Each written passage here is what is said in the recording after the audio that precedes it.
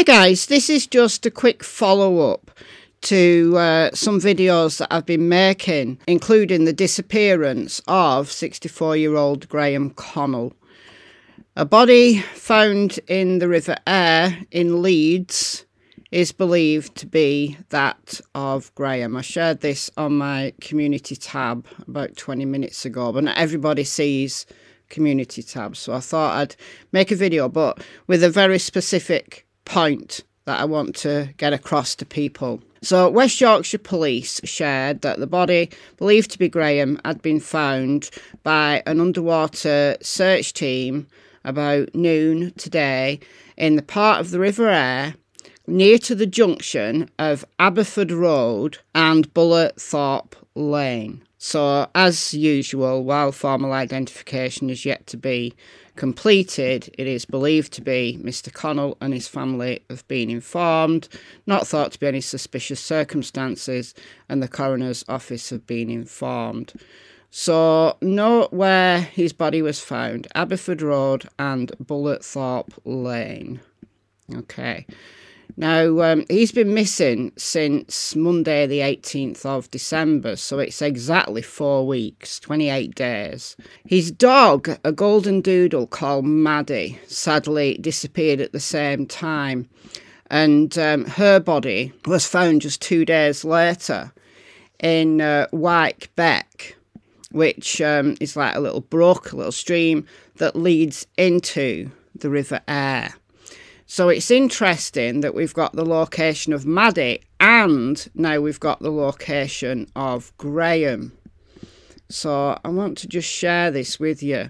So Maddie was found here. This is Wyke Beck and that's the River Aire right there. So Wyke Beck leads into the River Aire and Maddie was found about here. So I think Graham had just started off his walk. I think Maddie was found like right down at the bottom here, just as it joins the river.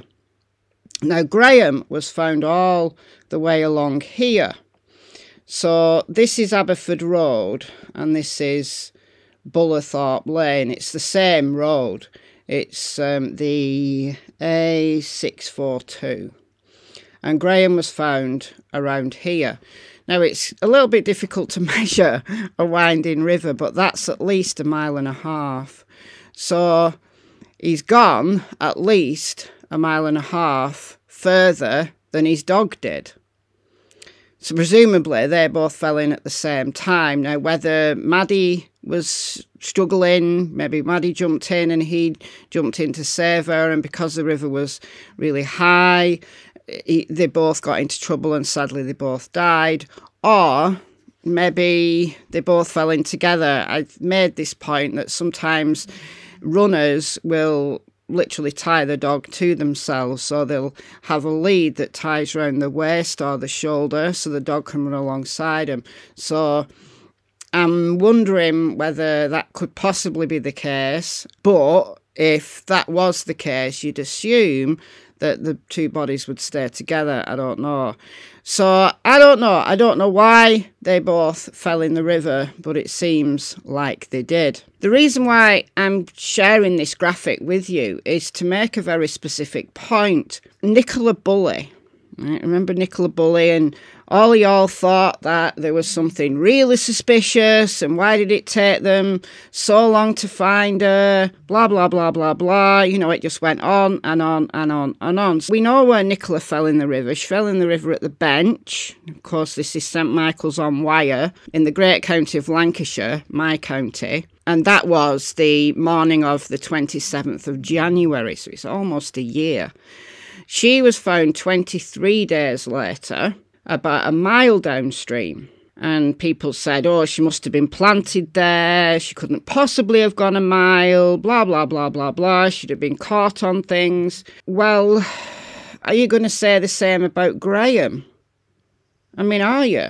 You're going to say the same about Graham? his body has gone all the way down here, around this winding bit. There's a little island thing there. There's things in the river.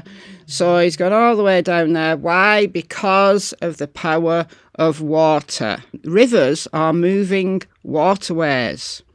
Unlike what some supposed experts said at the time, when you drown in a river, you don't just sink to the bottom like a stone because the river's moving. The river's moving.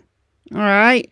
So I think Graham went so far because we've had so much rain that the rivers are just so much, you know, faster flowing than usual. But still, I think it's a very comparable case. We know where Nicola fell in, we know where she was found. We also have a good idea of where Graham fell in based on where his dog was found because of the just the two days it took them to find Maddie. And, you know, she may have moved somewhat, but still. And then Graham took four weeks to find him. They've been out there for four weeks. They've been out there every day for four weeks to find him, and they have. So I hope that that gives some closure to Graham's family.